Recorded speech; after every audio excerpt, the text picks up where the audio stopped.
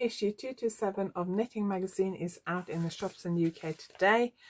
That is my design, um, which uses a stitch pattern called um, tuck stitch, very unusual, very interesting.